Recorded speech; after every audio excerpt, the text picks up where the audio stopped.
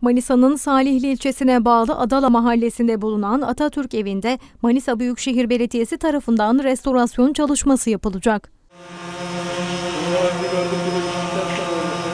Kurtuluş Savaşı'nda Gazi Mustafa Kemal Atatürk'ün 3 gün kalarak İzmir'in düşman işgalinden kurtarılmasında yer alan birliklerin nereden, nasıl ve ne şekilde gireceği aynı zamanda bu birlikleri yönetecek olan komutanları belirlediği karargah olarak kullanılan tarihi yapı Manisa Büyükşehir Belediyesi tarafından yapılacak restorasyon çalışması sonrasında turizme kazandırılacak. İşleri için işte. Manisa Büyükşehir Belediyesi Genel Sekreter Yardımcısı Ali Öztozlu, Salihli ilçesine giderek restorasyon çalışmalarının başlayacağı Atatürk evinde incelemelerde bulundu. Şurası şey- şöyle uzantı Tamam, geliyor. oraya Şu alan, şu alan duvarı. Adala Mahalle Muhtarı Ayhan Babacan, tarihi binanın restorasyonu için iki sene önce başvuruda bulunulduğunu hatırlatarak çaresiz kalması sonrasında tarihi yapının restorasyonu için Manisa Büyükşehir Belediyesi'ne başvurduğunu söyledi. Biz bu işi yapacağız diye üstlendiler. Ee, bir de bu halini gördüler.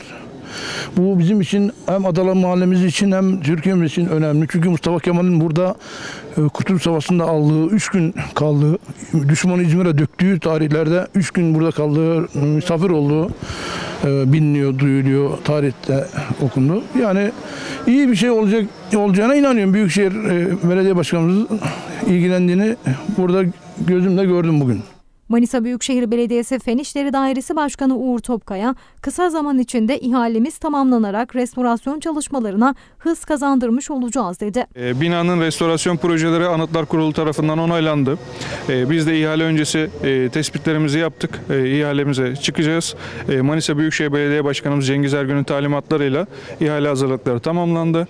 E, Kısa zaman içerisinde ihalemiz tamamlanıp restorasyon çalışmalarına e, hız kazandırmış olacağız. Salihli Belediyesi Belediye Başkan Yardımcısı Mahmut Süreyya Karaoğlu da Atatürk evinin kendileri için tarihi bir öneme sahip olduğunu belirtti. Biz 2014'te göreve geldiğimizde e, burası çok kötü bir durumdaydı. Daha sonra Saylı Belediyesi tarafından e, gerekli restorasyon çalışmaları başladı. Şu anda gördüğünüz şekilde Anıtlar Kurulu'ndan gerekli izinleri alınarak e, başlatılan çalışmalar daha sonra Büyükşehir Belediyesi'nin uhdesine verildi.